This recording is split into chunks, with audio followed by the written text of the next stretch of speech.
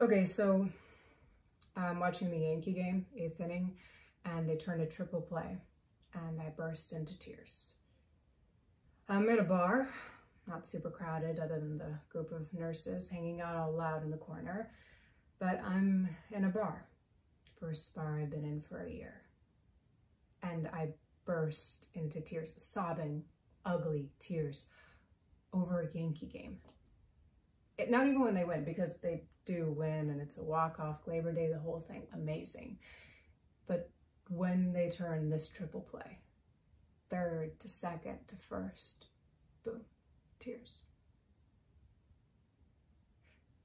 And this is weird because I don't watch baseball.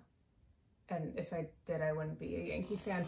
And it's also weird because I'm in a bar, first bar I've been in for a year, and it's not super crowded other than the group of nurses hanging out all loud in the corner.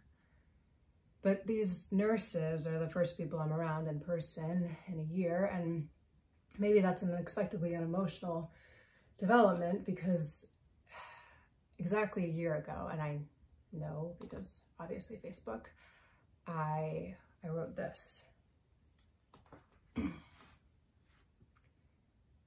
It's over.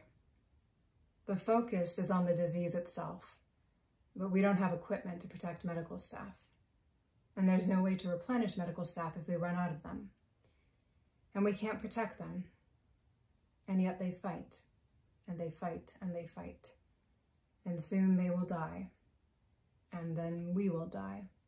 Not only of the disease, of anything, cuts and coughs and broken bones. It will happen all at once, then slowly until nothing is left. And it goes on like that for a long time. It's overwrought in retrospect and overdramatic,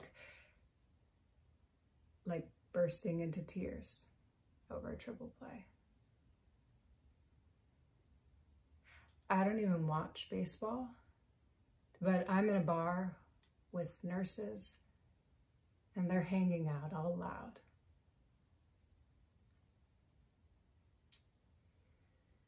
So, I guess I watch baseball now. Let's go Yankees.